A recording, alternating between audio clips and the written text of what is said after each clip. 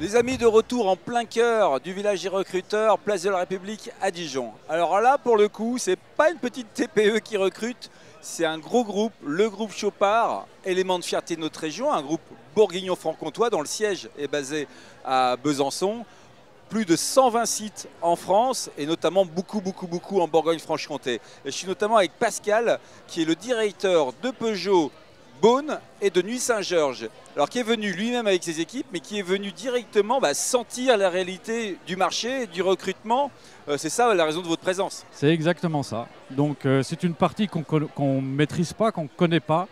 Et donc euh, j'ai voulu me rendre compte un petit peu de ce que, qu'était vraiment ce genre de, situation. Et donc euh, voilà, je me suis rendu directement au village des recruteurs pour, pour voir, pour, pour ressentir un petit peu le, marché. Parce qu'aujourd'hui, c'est 1500 offres de CDD, de CDI et de formation. Alors rien que le groupe Chopard, ça représente un paquet, parce que vous êtes près de 3000 salariés dans, dans le groupe. Euh, c'est vraiment des opportunités tant dans le commerce euh, qu'en après-vente, qu'en administratif. C'est exactement ça. Donc le groupe, le groupe Chopard donc, est amené à, à se développer encore. y, a de la croissance externe qui est prévue, donc effectivement c'est 3000 personnes.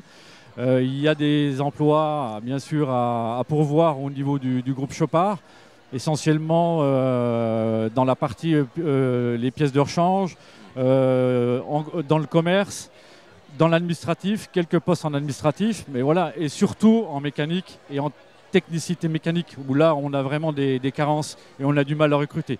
D'où ma venue ici au salon pour essayer de voir un petit peu comment, euh, s'il était possible de recruter ce genre de, personnes. Hmm.